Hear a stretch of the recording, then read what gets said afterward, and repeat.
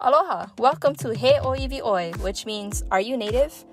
Oftentimes we hear the terms native, non native, introduced, and invasive when referring to both plant and animal species. But what do they mean? These terms are referring to a species' distribution status. We're going to take a closer look at the different distribution status terms in more detail. A native species is an organism that arrived to an area without the help of humans. Here in Hawaii, these organisms were carried here by one or more of the three W's wings, wind, or waves. Or in Olelo, Hawaii, Namu e Kolu, Manu, Makani, or Moana. There are two types of native species endemic and indigenous. So, what's the difference? An endemic species is restricted to a limited geographical area. In our case, it's a species that's found in Hawaii and nowhere else in the world. Species can be endemic to a specific island or even a particular mountain on an island.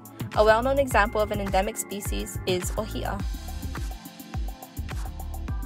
An indigenous species are those that originated or occur naturally in a given place. In other words, it arrived in Hawaii by the three W's, but it's also found in other places in the world.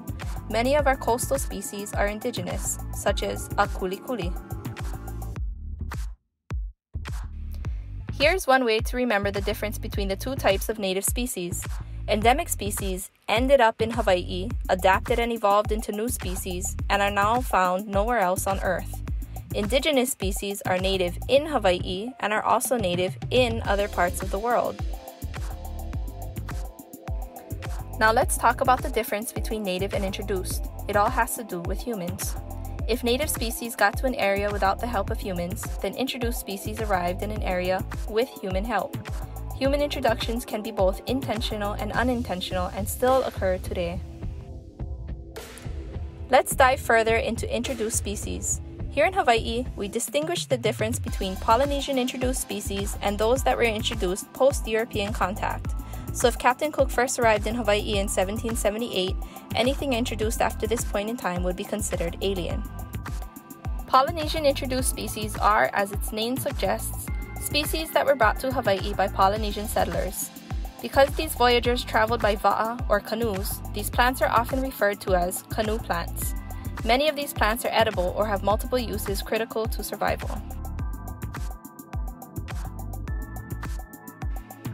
Now let's take a look at species that were introduced after Western contact. The alien category can be broken down further into invasive and exotic species. Invasive species are those that are harmful to the environment, economy, and or human health. Invasive plants are able to quickly reproduce, can easily disperse their seeds, grow quickly, and therefore are able to outcompete and displace native species. Let's compare invasives to exotic species.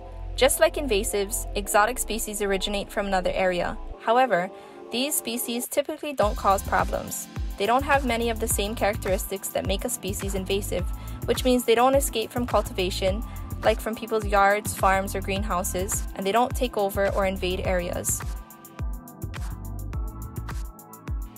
It's important to know the difference of what an actual native plant is versus what was introduced. Our endemic species are unique to Hawaii. They are what allow our forests to efficiently capture water, and they are the foundation on which Hawaiian culture is built. The next time you go out into the forest or out into your yard, take a look around and ask those plants and animals, He ʻŌiwi ʻOe, are you native?